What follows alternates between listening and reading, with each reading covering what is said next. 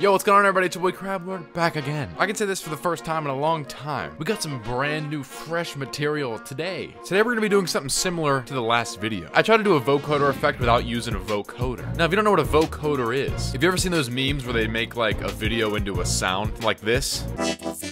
Something like that. And that's what we're gonna do today. I've actually watched a lot of tutorials on how to do this, and they're all very confusing. I'm gonna break it down so simply that there's gonna be a 100% satisfaction rate. So anyway, before we get in the video, make sure to subscribe and already subscribe, notification bell as well. So you never miss a video that I post. Also, make sure to check out my description down below. A lot of sweet things down there. Like preset packs, all my equipment, all my music, all my social media. Support link for the preset packs. These numbers aren't even making sense anymore. And a DistroKid link to get 5% off your sign up. So you can music everywhere, including TikTok. Anyway, vocoder effect.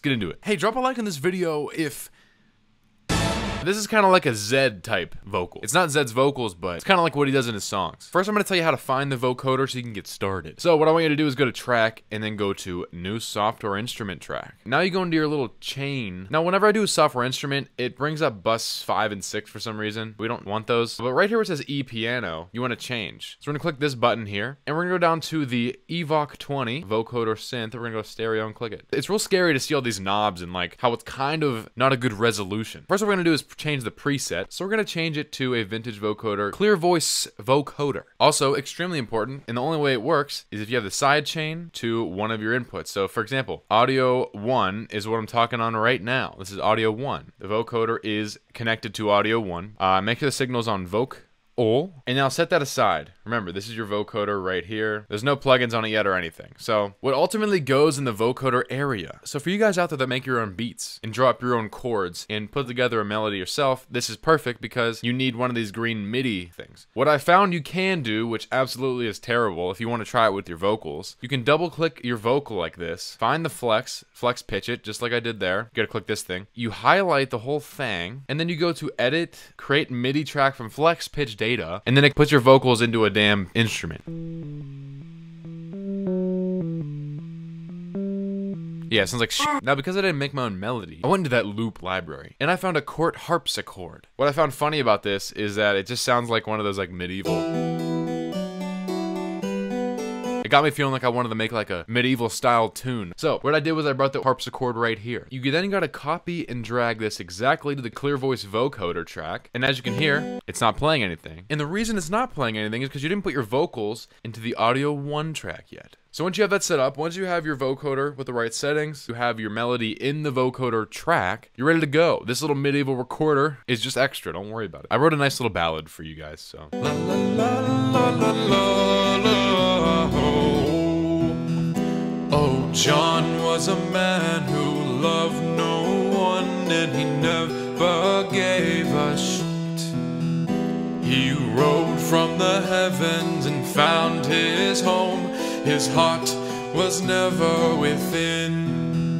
Oh, John, where are you now? Can I see you? I'm falling in a trap.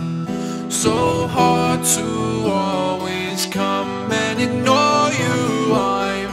tiny old man. So now do whatever you want to edit your vocals, which quickly, I have an EQ on it. Me pitch correct it because uh, I suck. And then we'll throw in a compressor really quickly. I'm gonna just ballpark it. Also, let's throw on like a nice little reverb.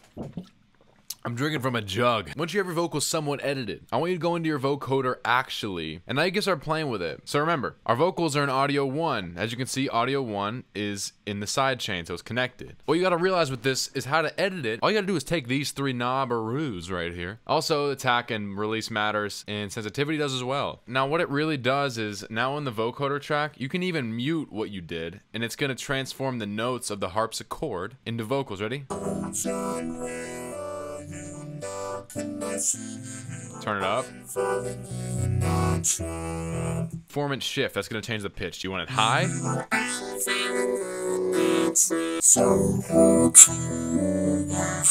That's cool. And the stretch just makes it wider. You can also measure the width of it.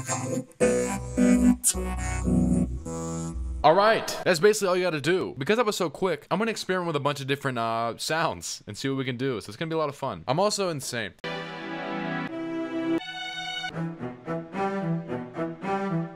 This is called Hidden Clues.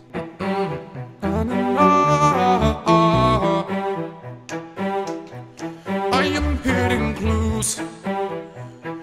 Got hidden clues on my mind.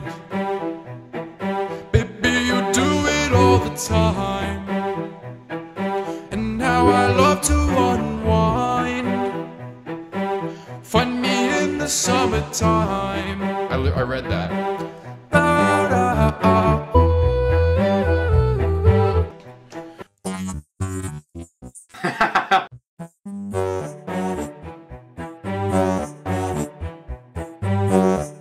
We need to get a piano.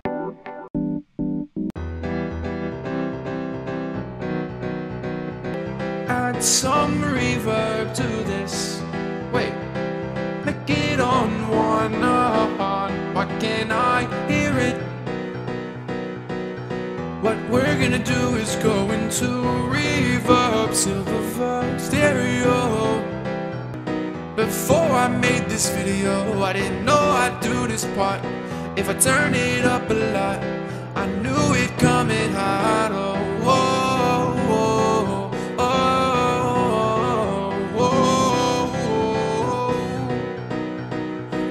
Soup in my pants, cranberry soup, and I wanna melt dance. Do you know my name is Lance? No, it's not. Well, that's about it for me. Hope you guys enjoyed that video as well as learned something as well. And if you didn't, then whatever. Uh, make sure to drop a like in that video, leave a comment down below, tell me what you think and what I should do next. Also, like I said before, subscribe if you're not already subscribed, notification bell as well. And also, my description's chock full of sweet things down below. So if you enjoy sweet things, go ahead and check it out. Anyway, this has been a Crab. How to get that vocoder effect in Logic Pro 10 using only stock plugins. And like always, I love you.